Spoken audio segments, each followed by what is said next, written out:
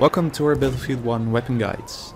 In today's episode we take a look at the Selbstlader model 1916 or Mauser M1916.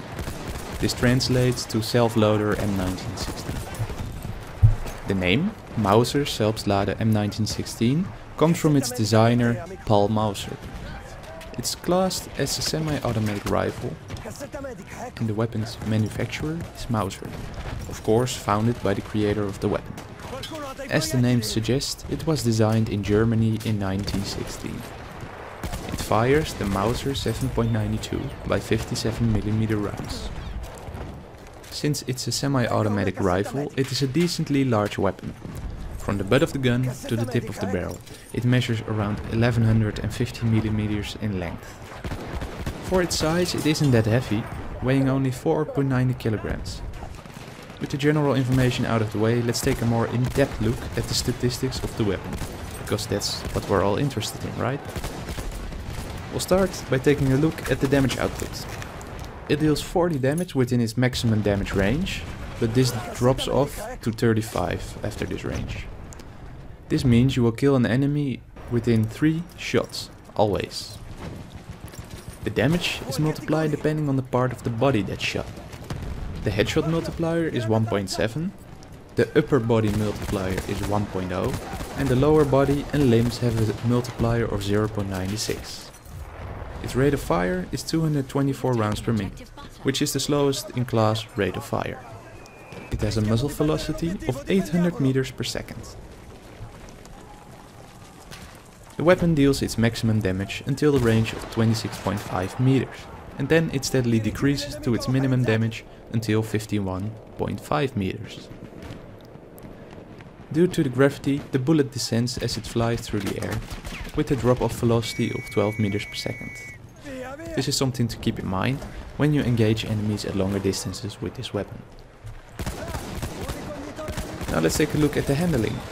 This will mainly dictate how the weapon will feel.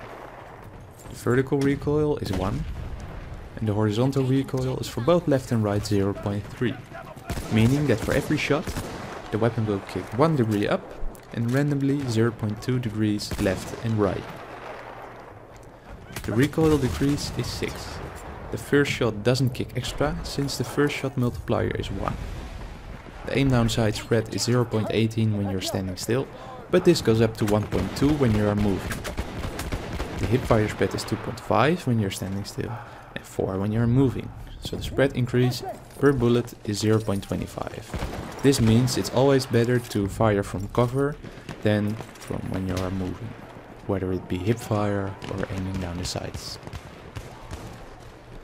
It has a magazine capacity of 26 rounds, which is by far the best in the class. The reload is also more effective since it reloads a full magazine in at once, instead of single bullets or clips of 5 rounds. The reload takes roughly 3500 milliseconds when the magazine is completely empty. The full reload will take 2370 milliseconds. This means that the full reload is always faster than the empty reload, which is an advantage when comparing it to the weapons in its class. Every weapon has multiple variants.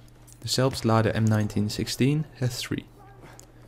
The Selbstlader M1916 Factory which is the variant we have been talking about so far.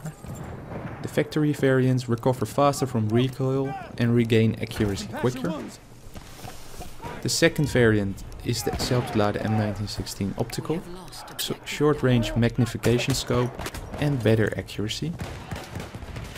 And the third variant is the Selbstlader M1916 Marksman, which adds accuracy while stationary or moving and it adds a medium magnification scope. The recommended class for this weapon is of course the medic class. For the primary weapon we recommend you select the Selbstlader M1916 Marksman with the bayonet attachment. The sidearm is the number 3 revolver to finish enemies off. The selected piece of equipment is the frag or the stick grenade.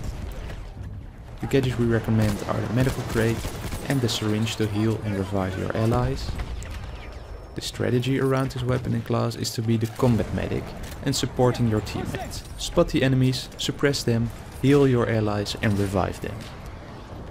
We hope you now have an overview of the Selbstlader M1916. Thank you for watching, the sources that we've used are mentioned in the description. We would really appreciate it if you take the time to leave a rating, and if you want to see more related content you can subscribe. If you have any questions, comments or constructive feedback, leave those in the comment section down below. And have a nice day.